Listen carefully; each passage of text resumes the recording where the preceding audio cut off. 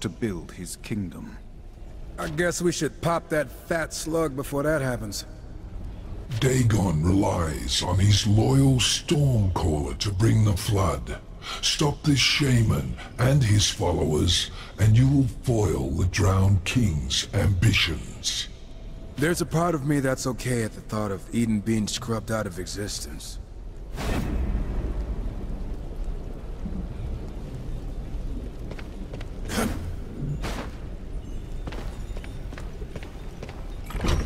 Many things, many.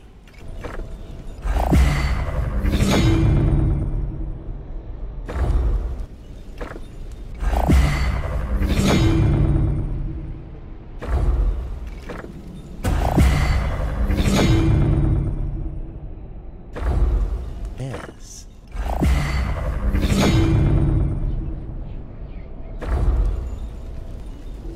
Kill plenty, we both profit.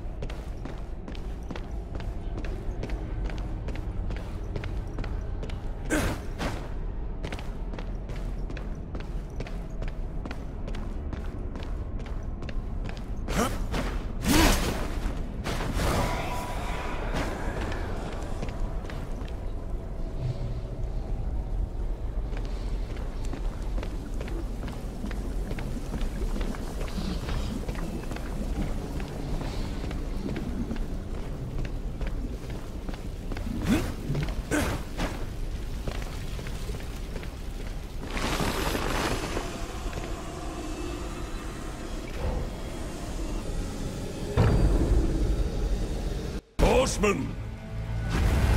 Dagon Stormcaller cowers behind this barrier. His shaman roam these grounds using foul magic to keep it sealed. Find them and break the seal. Magic will not save this Stormcaller from his fate.